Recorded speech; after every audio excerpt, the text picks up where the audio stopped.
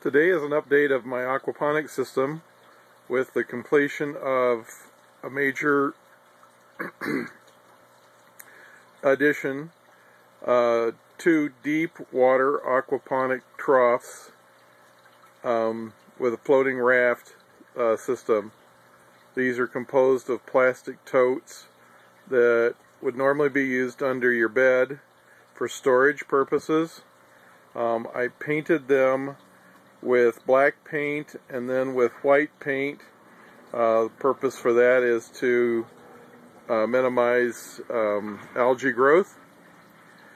The water flows out of the fish tank in the back and into uh, these deep water beds and then exits the deep water beds through a common uh, plenum that takes the water over to the um, grow beds and fills them from the bottom and up to the height. So it's a little difficult to illustrate, but the uh, the height of the water in the in the uh, deep water culture is approximately the same height as the water level gets to in the in the rock beds.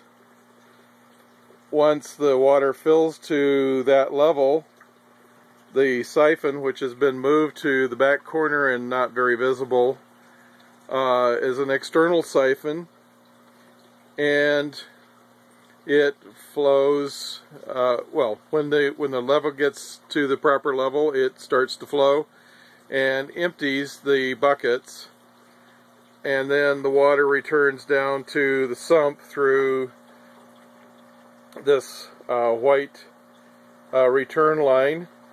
The sump is uh, composed of a plastic bucket and the water is pumped out of the sump and back into the fish tank.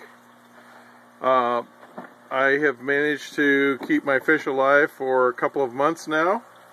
I have uh, 14 fish remaining um, they seem to be happy and comfortable. The temperature in the greenhouse right now is approximately uh, 92 degrees it looks like.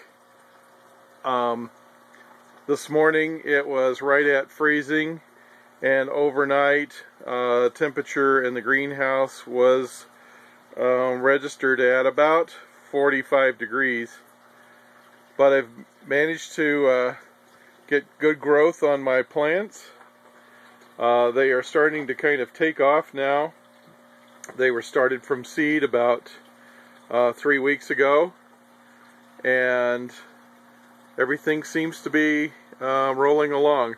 I still do not have a great deal of uh, nitrogen cycle completion, although obviously uh, it must be working because I'm getting good growth uh, on the plants. Just an update on that is last night uh, these were taken from essentially my nursery and planted into the uh, deep water aquaculture. And I would swear that the tomatoes have nearly doubled in size.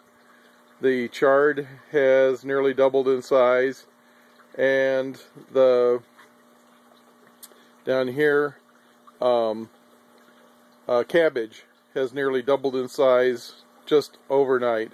So things are working pretty good. I will add a new or give you a new update when I get to the to the next major increment of my system. Good day